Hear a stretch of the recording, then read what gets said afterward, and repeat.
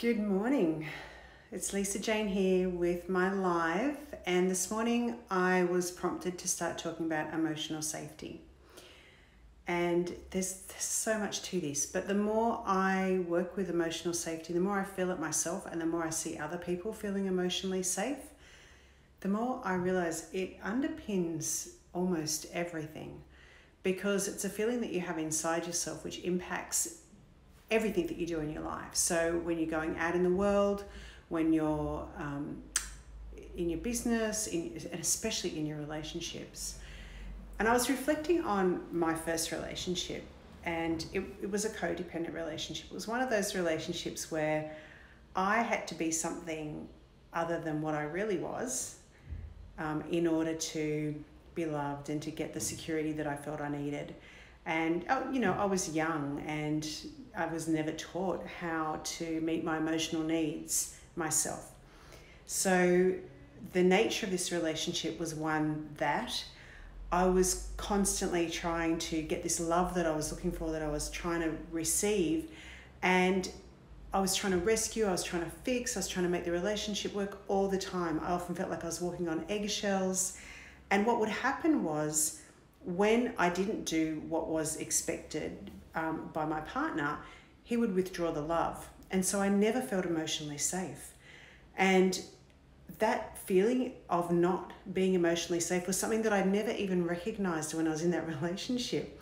And if you've been through a breakup or you're going through one now, or maybe you're alone, can I strongly suggest that you begin to learn about how to keep yourself emotionally safe? Because what I've discovered is the more emotionally safe I can feel, the more amazing my relationship is with other people and also with a partner.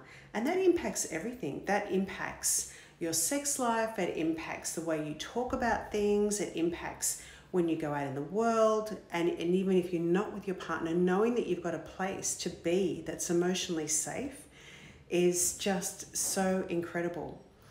So, what does it mean to feel emotionally, emotionally safe, and how can you do that for yourself?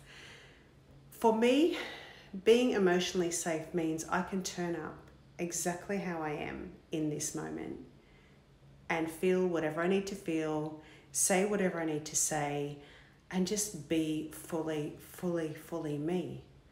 I know that I don't have to do anything or be anything other than that what I am now, and that the person that I'm with, if I feel emotionally safe with them, will love me regardless of who I am. This is actually unconditional love.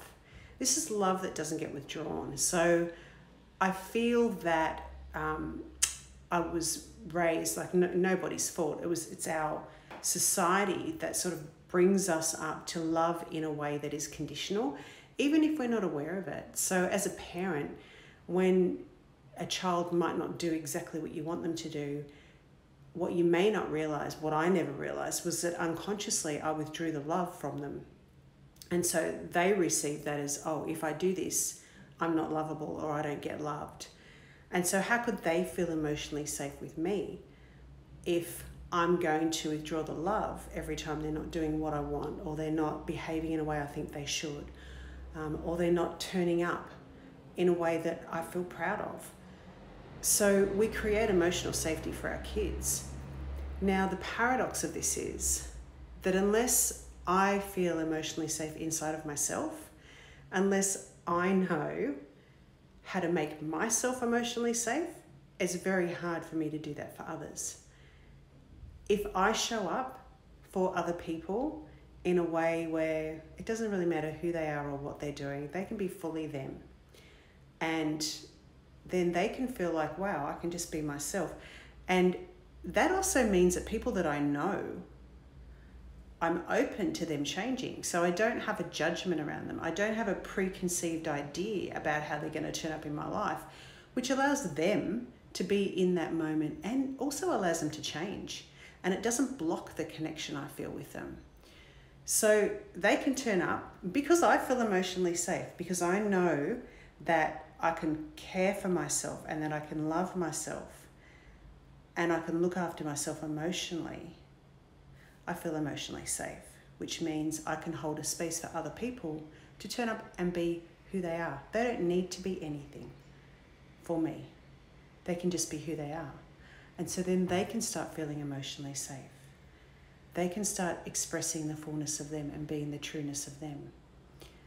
And so, coming back to yourself, what an incredible opportunity this moment is to start building your emotional safety. That means standing by your own side.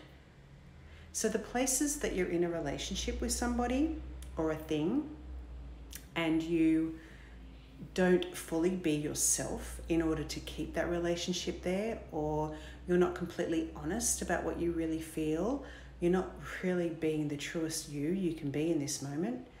Every time you stand in that place rather than the actually, this my truth is not that. I need to speak what I'm really feeling here. Every time you step away from what's true for you in this moment, in order to keep somebody else happy or to maintain a relationship or to look good or to be accepted, when you do that, there's a part of you that doesn't feel safe anymore because there's a part of you that knows that you're not there for you. When we aren't in a relationship or if we're going through a turbulent time in a relationship, that is the opportunity for you to be there for you. What is it you feel? What is it you really want? How do you want to express what you feel? What is it you need to say? Now, I'm not actually saying that you have to do any of that, but start considering it. What is it that I would say if I was being honest with myself? What is it I would say if I was so courageous in this moment. I could speak exactly how I felt. What is it that I would say? How would I act? And maybe write it down. Start to think about it. Because then what would happen is, what happened for me is when I started to do those explorations, I began to work out a way that felt okay for me to speak my truth. And I slowly, slowly, slowly got into it. Like sometimes, and I remember a couple of years ago, I used to make things sound so beautiful and warm and fuzzy and flowery when I spoke my truth that by the time it landed on the person, they had no idea what I was talking about because I was really aware of how it would land on them emotionally.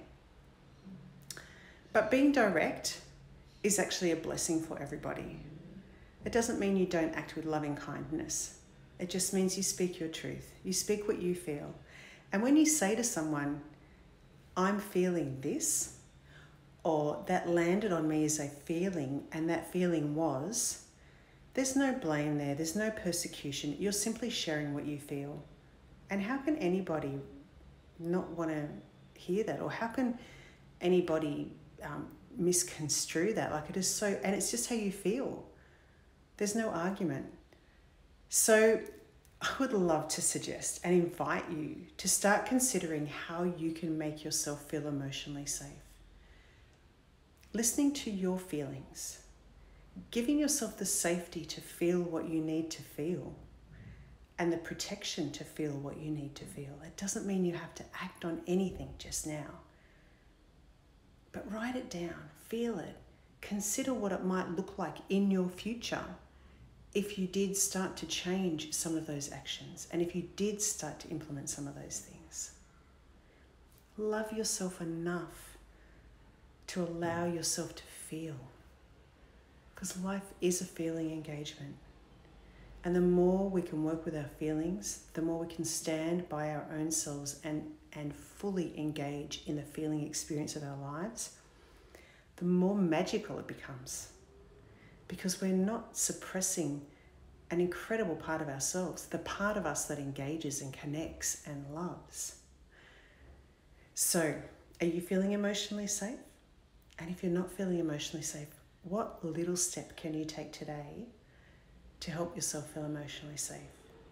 Maybe it's just acknowledging how you feel, validating the fact that, hey, why wouldn't I feel insecure? Why wouldn't you? I mean, the world's pretty chaotic. Why wouldn't you feel jealous if you're feeling jealous? I mean, maybe there's things happening that it would be a valid feeling. It doesn't mean you have to act on it, but validate it because you're a human being and human beings have feeling experiences. And that's just the way it is. So I invite you to take one little step today to help yourself feel emotionally safe because it will have a ripple effect on everything around you. Sending love for a beautiful day.